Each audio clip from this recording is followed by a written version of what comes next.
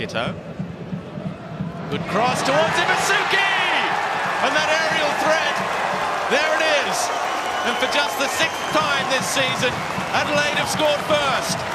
It hasn't been their forte. In the middle, it's Wallen doing the marking. Again, Sail, oh, penalty! Ben Abraham, Ibusuki is to give Adelaide a 2-0 lead. And he does so. Consummate penalty. No chance for Ollie Sail. And Adelaide are happy to be back at Cooper's on a Friday night. In it comes from Collie. Good ball as well. Back post and they're back in it. Adam Taggart strikes again. Double figures for him this season. We spoke about him in the pre-game. He is a scoring machine. Clough. His cross near post. Ibusuki. Oh! But that was some real quality with his feet as well. Collie. Good ball in near post. Ibusuki's header. Williams! And it's in! Just over a minute on the pitch. And he's done it again. The equaliser from David Williams who is Perth Glory's not-so-secret weapon off the bench.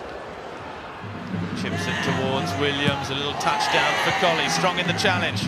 Look at the space opening up, Taggart's pass is a little under hit, but Ostler manages to get there. Benny, is this the moment for Benny? Ostler now, cuts it back. Rawlins, and it's in! Josh Rawlins in his first match back in Perth after returning from the Netherlands. Jovanovic is there, Bovalina again. Was there a hand there from Collie? Penalty! Was Bodnar.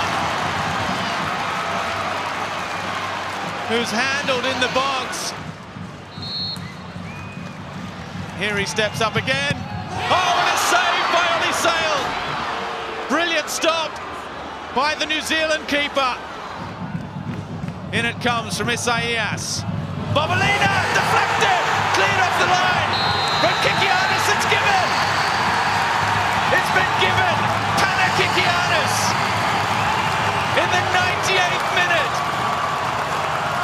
The youngster in just his second ever match